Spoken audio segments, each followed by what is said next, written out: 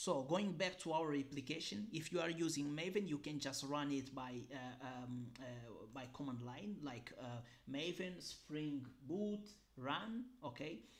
And but for me, I'm using IntelliJ, so let's keep it simple. Oh, sorry. Before that, I have as we are using Mapstruct, right? So Mapstruct gonna use this mapper uh, in order to like out of the box like uh, create our mapper so in that order I'm gonna use the command line in order to compile it. Maven um, let's just say like compile. Uh, let's just say maven clean compile. So let's see.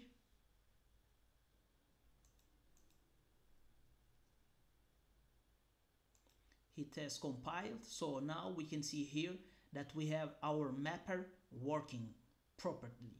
Um, so now we just have to run our uh, application. Let's see here. And then run.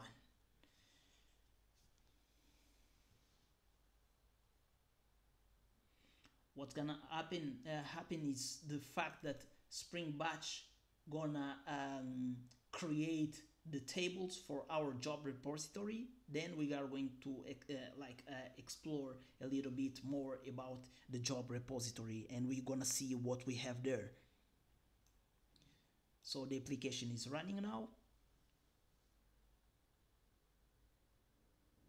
So we have here a problem.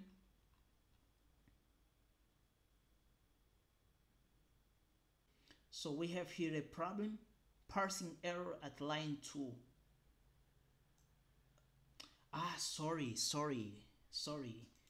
As we can see here as we can see uh, we are using like all this token is a one. So to fix it let's just go back and separate it because it was expecting as, as the, the the the error uh, said here like incorrect number of tokens found in record. Expected one actually six. So uh, what's happened is that as i just created as a string as you can see so i'm just saying that okay i'm just using i just have one token. So it's it was expecting six which is the right right? So let's just put it one then two so like this this is the correct way to specify your token. So this is how you have to do it okay? So now let's run our application in order to see if it works or not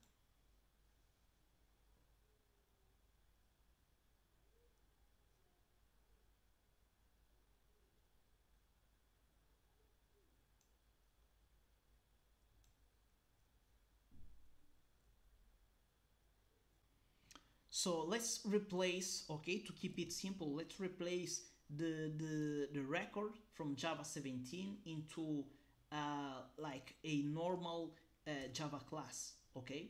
So because the uh, spring batch okay the item reader uh, needs uh, maybe a default constructor or something like that. So in order to keep it simple let's just make it make our lives like uh, easy okay? So I'm just gonna replace uh, replace oops replace yeah replace the comma with semicolon okay? And then just adding here private private private. So maybe you you you you have not faced this error because you you were not using um, the java uh, 17 records okay? So later i'm just gonna uh, try to figure it out why i had uh, this error. But maybe it's because of constructors. So in that order let's just now once again compile okay our um, our application. And then uh, check if it works or not. Okay let's check if okay our lombok is working uh, mapstruct is working. So now uh, once again let's go run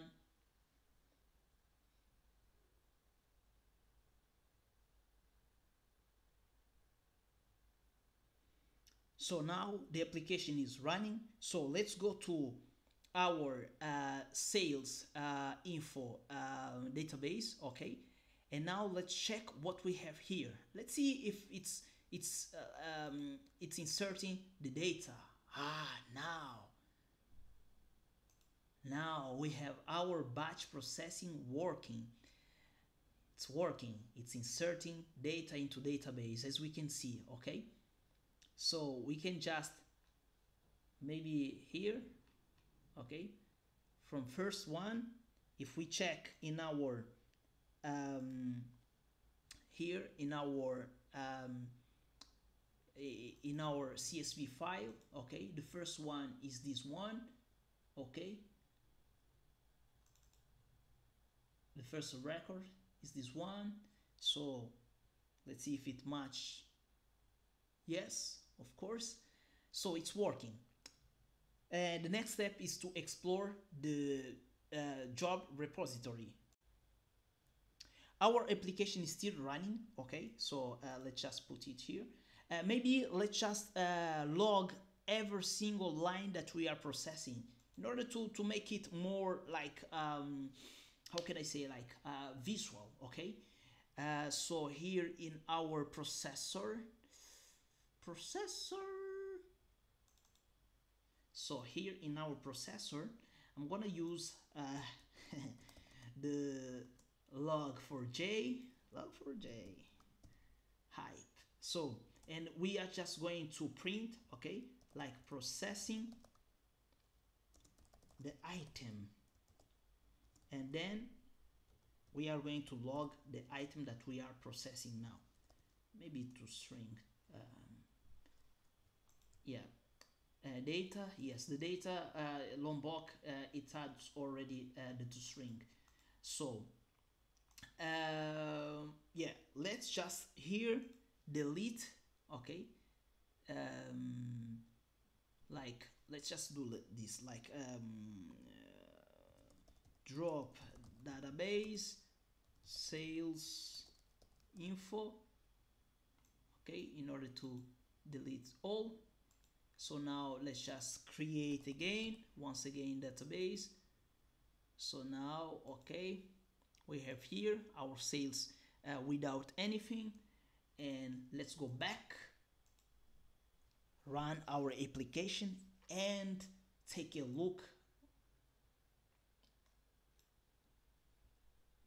So let's go the application is is running now